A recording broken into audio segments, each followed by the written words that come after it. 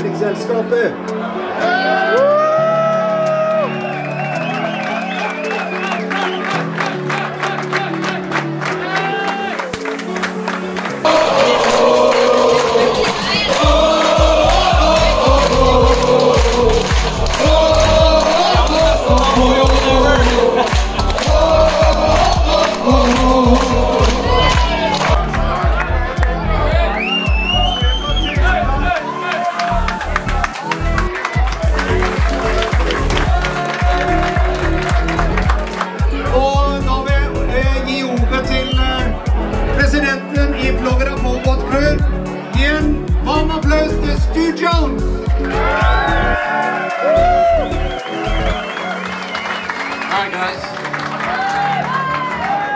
Not a bad day on the water, huh? I would say pretty, pretty nice day.